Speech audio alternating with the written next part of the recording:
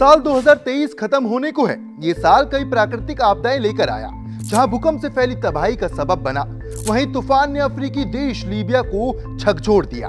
Israel और Hamas की जंग के लिए भी ये साल याद किया जाएगा।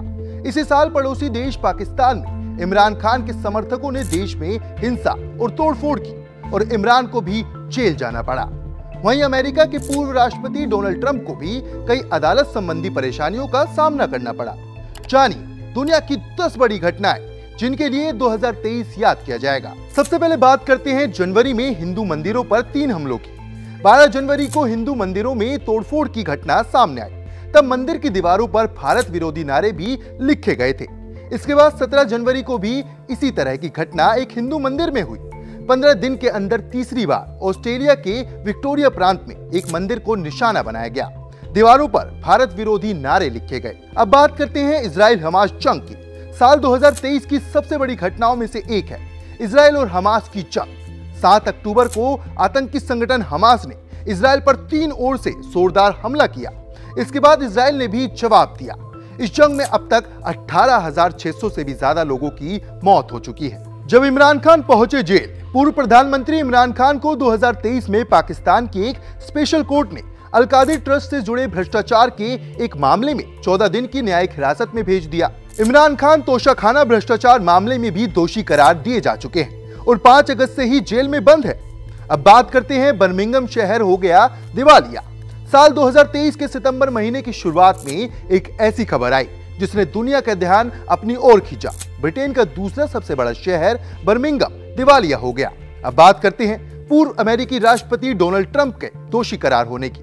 डोनाल्ड ट्रंप अमेरिका के इतिहास में पहले पूर्व या मौजूदा राष्ट्रपति हैं, जिन्होंने आपराधिक मामलों का सामना किया। अटलांटा की एक अदालत ने इस साल 14 अगस्त को ट्रंप और 18 अन्य लोगों को 2020 के राष्ट्रपति चुनावों में धोखाधड़ी करने का दोषी माना।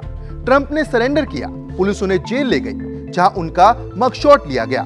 ट्रंप अमेरिका के पहले ऐसे राष्ट्रपति बन गए हैं, जिनका कैदियों की तरह मगशोट लिया गया है। अफ़गानिस्तान ने भारत में दूतावास बंद किया। 24 नवंबर को अफ़गानिस्तान ने अचानक ऐलान किया कि वो भारत में अपने दूतावास को बंद कर रहा है। अफ़गानिस्तान ने पॉलिसी में बदलाव को इसकी वजह बताया। न्यूजीलैंड की पीएम जेसिंडा का इस्तीफा। इस साल की शुरुआत में 19 जनवरी को न्यूजीलैंड की प्रधानमंत्री जेसिंडा अर्डन ने अचानक से इस्तीफा देने का ऐलान करके सनसनी फैला दी। जेसिंडा के इस्तीफे से ज़्यादा उनके इस्तीफा देने की वजह ज़्यादा दिलचस्प थी। उन्होंने पार्टी की सालाना कॉक्स मीटिंग में कहा कि उनके अंदर अब काम करने के लिए ऊर्जा नहीं बची है।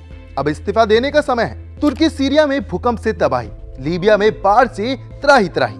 6 फरवरी को साउथ ईस्ट तुर्की और सीरिया में एक के बाद एक दो भूकंप के छटकों ने ज़बरदस्त तबाही मचाई। रिक्टर स्केल पर इनकी तीव्रता 7.8 और 7.6 मापी गई थी। इस प्राकृतिक आपदा में पचास हज़ार से ज़्यादा लोगों की मौत हो गई। वहीं इसी साल सितंबर में अफ्रीकी देश लीबिया में तूफ़ान और बाढ़ ने भयंकर तबाही मचाई। बाढ़ में 2300 लोगों से ज़्यादा की मौत हो गई और दस हज़ार से ज़्यादा लोग लापता हो गए। तूफ़ान की वजह से दो नदियों के बाँध टूट गए, जिससे पानी शहर में घुस गया और सैकड़ों घरों और लोगों को अपने साथ बहा ले गया। चीन में भूकंप के जोरदार झटके।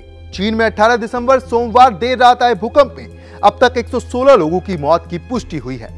वहीं 400 से ज़्यादा लोग घायल हुए हैं। छह दशमलव एक तीव्रता का यह भूकंप गासू और किंगई प्रांत में आया। जिनपिंग लगातार तीसरी बार बने राष्ट्रपति। चीन के राष्ट्रपति शी जिनपिंग लगातार तीसरी बार राष्ट्रपति चुने गए। उनहत्तर साल के जिनपिंग तीसरे टर्म के साथ ही चीन के सबसे लंबे वक्त तक रहने वाले राष्ट्र प्रमुख बन गए तीसरी बार राष्ट्रपति बनने के बाद शी जिनपिंग ने चीन में चार दशक पुरानी परंपरा को तोड़ दिया।